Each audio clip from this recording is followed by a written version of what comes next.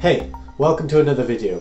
So in this one, I have a two-in-one laptop tablet kind of thing that's reaching the end of its life cycle. It's the Linx 12 64-bit and it's running the Windows operating system. The specs of this Linx tablet I have got should be on the screen now. The CPU is the Intel Atom X5 Z8350 quad-core 1.84 GHz processor. The graphics is an integrated Intel HD Graphics 400. The RAM is only 4 GHz DDR3 the storage is only 64 gig. It's practically unusable on Windows, so I thought I'd benchmark a bunch of Linux distributions and install the best performing one. Ideally by the end of this I'll have a better performing tablet that'll run a lot smoother and won't throttle the hardware. For my research I went onto Google and I searched for the best Linux distributions that work on a tablet and two-in-one laptops. I found out that you can have different desktop environments which I like because I like customization the top ones that kept popping up were the XFCE and the GNOME environment. For distributions, Fedora and Debian were the most mentioned. After reading a bunch of stuff on different websites, I then decided to go to distrowatch.com and look at the top rated distributions. The ones that grabbed my attention were number one, Manjaro for being intuitive, have automatic hardware detection, and having a stable rolling release. Second, Ubuntu, as I've heard a lot about this and I've previously been recommended it. Number three is Debian because that kept popping up all over the web. Number four, Elementary OS because I really like the interface he was using. Number five, Fedora because that was the most recommended one when I was doing my research earlier on Google. Six, Deepin20 for its friendly and nice looking interface. Number seven, Pop OS because I kept seeing really good comments about it and it looks really sleek. When testing Deepin20 beta, I realized I couldn't actually install it without having 64 gig of spare memory which I actually don't have, so I had to take that one off the list. And with Elementary OS, I couldn't see a system monitor to compare it to the other Linux distros, and I noticed the minimum requirements were quite high, so I took that one off the list. The minimum requirements for the remaining distributions are on screen. I can see that Pop OS and Ubuntu look like they're going to struggle, but I will try them out anyway. On paper it looks like Debian should be the best, with Fedora second, followed by Manjaro, then Pop OS, and lastly Ubuntu. I created live systems on a USB using Rufus. This made it easy to test out all the distributions without making permanent changes to my tablet. This way I can see if they work with my hardware. Also I can test them all out within a reasonable amount of time. So, the first thing I tested was how much RAM the system used when it was idle, and the test results are pretty much how I expected them to be. The winner of these tests, in order, are Debian, Fedora, Manjaro, Pop OS, and Ubuntu coming in last. Next, I ran Firefox on each distribution to see how it would impact performance. Debian actually took the worst hit by adding 9.4%, Ubuntu using the most in total with an 8% increase, Manjaro had the lowest increasing out of the lot, but Fedora claimed first place using the least amount of RAM in total and only having an 8.7% increase. Secondly, I tested the idle CPU usage. The winner of these tests in order are Fedora, Manjaro, Ubuntu, Debian and Pop! OS coming in last, which is a big mix-up compared to the RAM results. I ran Firefox once again to see how much impact it would have on the CPU. Pop! OS did the worst, adding 16.5% to the CPU and also making it the worst performing. Manjaro had the smallest increase of just 1.6% and also performed the best. After looking at these results, we can see Manjaro is the best, constantly being in the top three. It had the lowest amount of RAM and CPU usage when Firefox was ran too. Fedora, Debian and Manjaro ran close with a good competition, whereas Ubuntu and Pop! OS were lagging behind. I'm happy with this result because when I was playing around with the distribution's interface and features, I actually found Manjaro to be my favourite. The GNOME desktop suits my tablet the most, making it easier to access notifications and easily getting into the settings. I can also look forward to rolling releases, whereas other distributions like Fedora, you have to wait six months, and Debian even longer than that. So for my use case, Manjaro ticks all the boxes. Okay, so downloading Manjaro, we need to go to the Manjaro website. Downloads right there at the top of Google, and I need to select the interface I would like. I'm going to scroll down to GNOME because that's the one I like and download that. I'll select the 64-bit version. That works with my tablet. Great, download. Uh, it should just pop up if you leave it. Brilliant, there you go. You can see it downloading in the bottom left. While that is downloading, we'll also want to download Rufus. So Google Rufus, go to the top link and download this. This Rufus is a standalone.exe, so you don't have to install anything, you can just run it as it is. Now that this is downloaded, we'll want to find a USB and put this into our computer.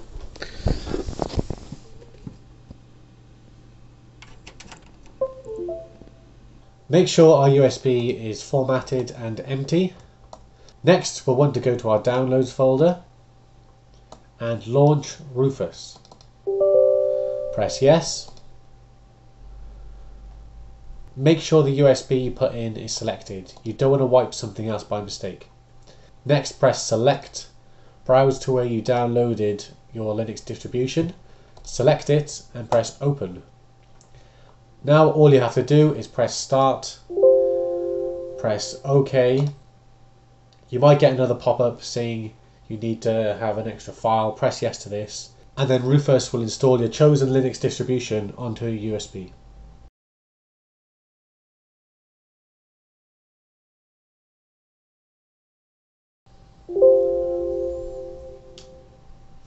What we'll want to do now is to close this program and make sure we safely eject our USB.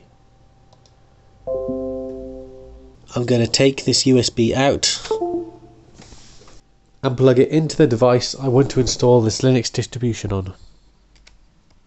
Now this changes depending on what device you have. You need to look it up, but what you want to do is get into your BIOS. So for me, I have to hold the power on button and when this pops up I have to press escape. Now I'm in the BIOS. What we want to do is to go to security, go down to secure boot menu and I want to have this turned off. So from enabled to disabled and you want secure boot mode set to custom. You can see I've already done this, I've already prepared, but this is what you need to do. Then go to save changes and restart. Next we need to launch into the startup menu and that for me is pressing F7. So when this pops up I need to press F7 and it comes into this mode. Then you'll need to select your USB device and mine is this one here. Make sure it is in the UEFI mode. Has to be in that mode to launch Manjaro properly. Then press enter. And you'll be welcomed with this screen. Okay, so I've actually moved on to a virtual machine so I could give you a better quality of the setup I'm going through. One thing to note, with this Linx tablet, when I had Windows installed, it actually took 4 minutes to get to this menu. But since then I've tested out this process before just to make sure it works, and it does work, and this booted up within a second. So the time and device might be a bit different too. So with these settings, you know what to do, just set the time and date to where you're from.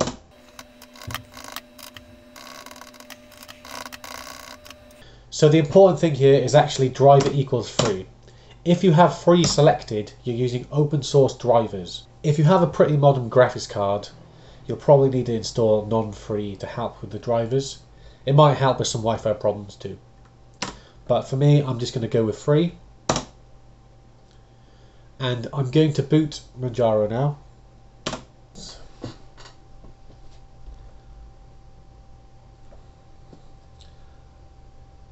Right, now we are in Manjaro, running off the USB. The next thing we want to do is to actually launch the installer.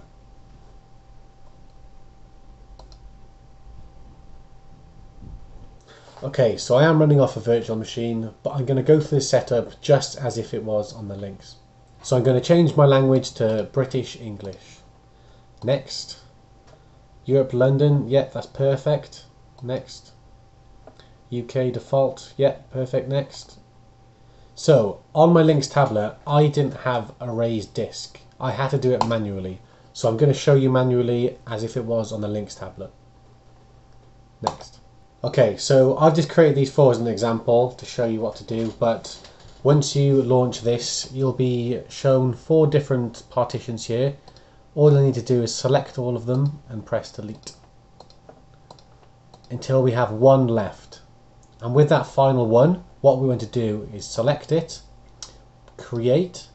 What we want to do is change the file size to 512, so 512.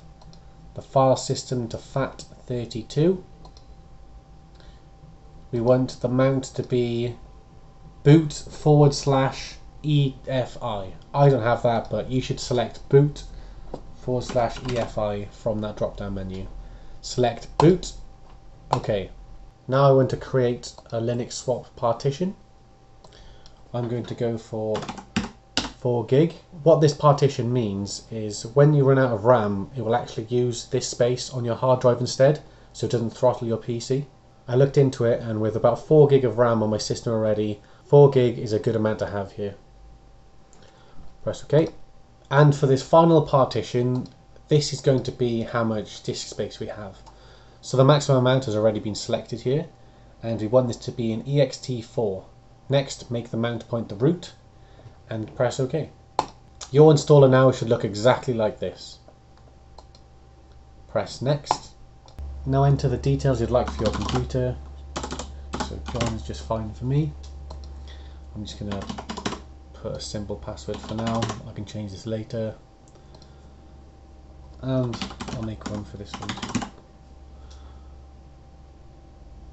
Next, LibreOffice is what I'm going to choose. Next, you don't have to choose anything. This is a review of what we've got.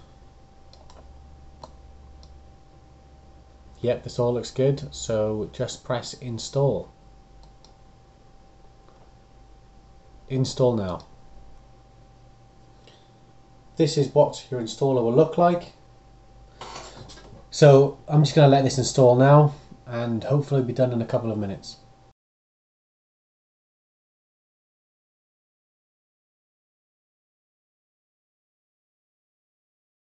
Awesome, now we can just restart the PC. Done. Hey, look, we have Manjaro running on the tablet now. Touchscreen is working fine. Everything's moving around. The keypad's working. You can see the mouse there. Brilliant. But I must say, I did run into some issues. Um, when I first installed this, the Wi-Fi wasn't working. Also, the cameras don't work. I did a lot of looking into this. I can fix the problem with the Wi-Fi, but I can't fix the camera issue. So the CPU in here is the Intel Cherry Trail, which doesn't have much support on Linux, which is why the drivers for the Wi-Fi and the camera aren't working properly. But I'm not too bothered about the cameras because I won't be using that. But the Wi-Fi I will need, and I have found a fix for that, and I will go through it now.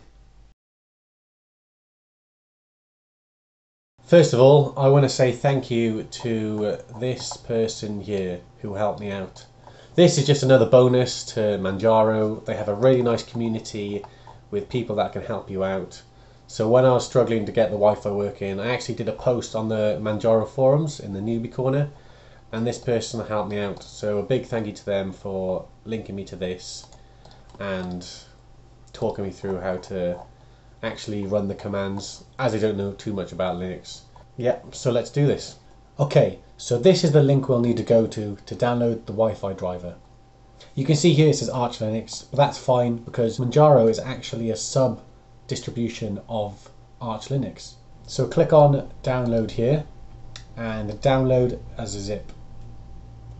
We will need to grab our USB stick again and plug that in. So this is the USB I used to install Manjaro on. You can see it's messed with the file size, but all we need to do here is right click format. Just go ahead and press start on that, press OK. Once that's done, close that, and in the search bar type in format. Go to this one here, create and format hard disk partitions. Scroll down, we'll be able to see it here. So this disk 6, this is the size of my USB previously, and you can see this 4 megabyte here is the same as this. Make sure to check that yours matches up. It might be on a different disk to mine.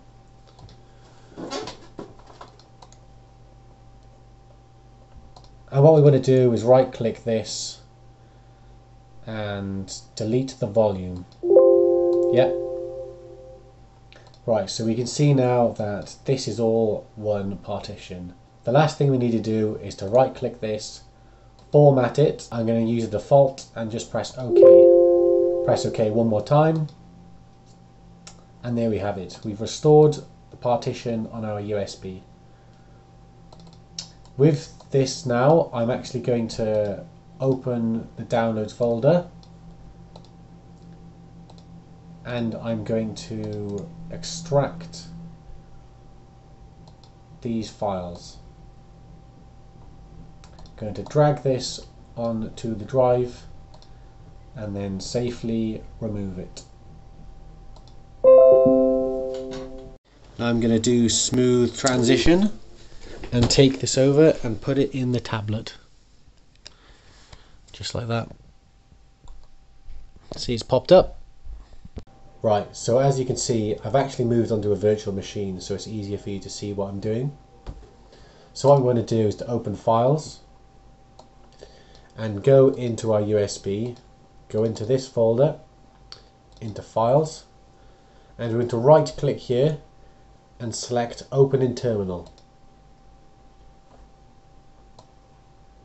Cool.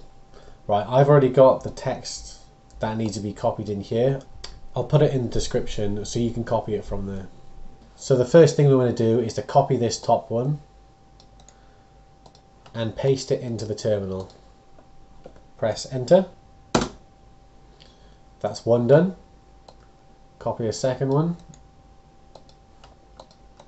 Paste that. Enter. Copy the third one paste, enter, and the last one to reset the driver. Awesome. Right, now on the top of your tablet up here, you will see the Wi-Fi pop up. Mine's obviously connected to the computer, but on the tablet, the Wi-Fi will pop up and you'll be able to select your network. So everything should be done now. We've uh, done a clean wipe of Windows and we've freshly installed Manjaro We've got Wi-Fi working and everything else should be working as normal. The only thing you want to have is the camera, but I'm okay, I can live with that. If you've made it far in this video, congratulations. I really didn't expect it to be this long. We did run into a few problems, but we did solve those problems. So everything is working apart from the cameras. But I'm not too bothered with that. I never use them in the first place. This was a fun little project. I hope I've helped you out. Um, I've certainly helped myself out by getting a usable tablet now. I've learnt a lot from this, and my main mistake was not researching the Intel Cherry Trail CPU. If I would have, I would have realised that Linux distributions don't have much driver support for this CPU. For future videos, I will know to check stuff out like this beforehand, before I start filming, and realise halfway through there's a problem with the Wi-Fi. it all worked out though. Thank you for watching. If you like the video, please leave a like and a comment. Even subscribe if you can. It really helps me out. Thank you so much for watching. See you in the next one. Bye.